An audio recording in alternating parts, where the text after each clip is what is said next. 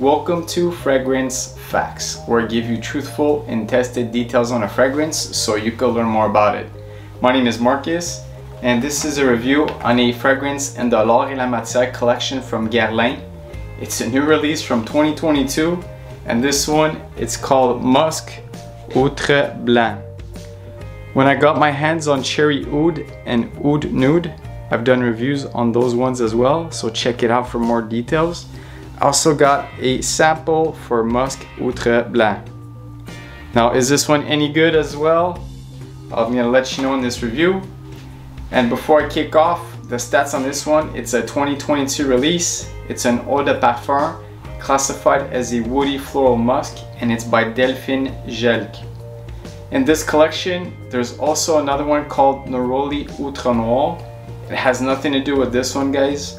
The Neroli Outrenoir, it's gonna be the citrus aromatic scent, as in this one goes in a soapy, musky, clean direction with white florals. And how does this actually smell now that I've given you the summary of it? Well, I'll break it down for you, starting in the top. And in the top, what you're gonna get is this fresh, clean musks, this citrus neroli floral, orangey florals from the orange blossom, powdery soapy iris. It's gonna have this overall fresh, clean, musky citrus, powdery soapy floral. In the mid, you'll get clean musks, powdery iris, a floral orange blossom and rose combo with soapy milky creaminess. It will have a soapy clean, musky powdery floral, milky, creamy vibe. And in the base, it will be soapy, milky creaminess with rose orange blossom, an iris that has a little bit of powderiness, and a light, sweet, musky amber.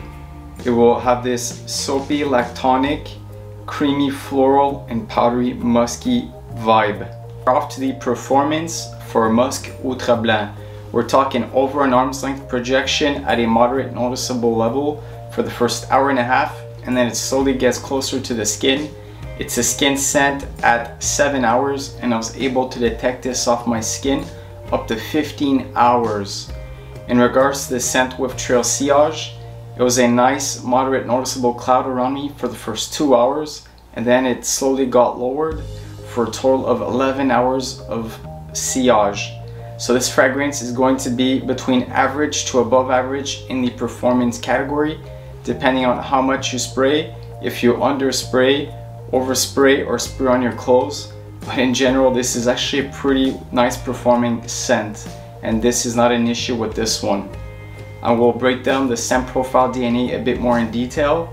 So the two main highlighted notes in this one that shine the most is going to be that fresh and clean white musks as well as that powdery iris. The other notes in here you will detect a bit, but they're more second to lower tier players. It's not the dominating ones. But you will get a sensation of that white, orange blossom and rose combo at certain times, especially in the mid. And when you're gonna hit in the base, you're also gonna get that milkiness that pops up and it's gonna add some creaminess to the scent.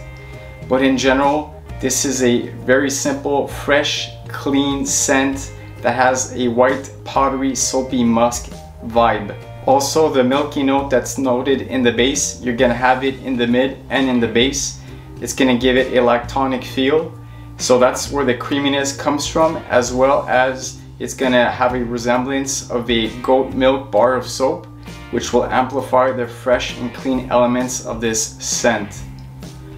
Regarding the compliments, I didn't get any with this one, but when I did present the scent to people, I had an average score between 7 to 8 out of 10.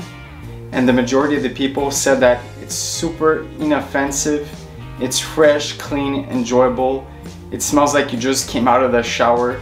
So anything that you want to wear that is going to help you smell fresh, clean, elegant, upscale, I think this one will do the trick for you and it is 100% unisex because the floral scents in here are not too dominating and they're actually well balanced because it's more of that musky powderiness from the iris and there's a lot of those kinds of notes in male fragrances anyways so you don't need to be afraid of this one if you think this one might be overly feminine. Other fragrances on the market that this one will resemble. So of course it's gonna resemble the most the in-house competition which is called L'Heure Blanc by Guerlain. It's gonna have a lot of the similar dominating notes as this one and that one. And besides that, in other companies, you're gonna get something like Maison Francis Kurkdjian's Aqua Universalis. And that one, guys, is gonna have that floral, white, fresh and clean vibe. But that's the only part that they're resembling. The rest, they're different. And besides that, you also have in Les Exclusives collection from Chanel. And this one, it's called 1957.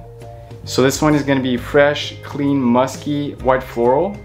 But the thing with this one is it's very heavy on the aldehydes and it's gonna be very heavy on other fragrance notes and it's more white floral than this one.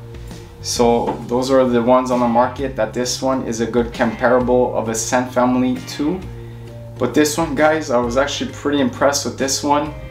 This one actually made me feel like, let's say you're going in a luxurious hotel and there's like marble on the floor and everything is like super high scale and there's like gold statues and things like that.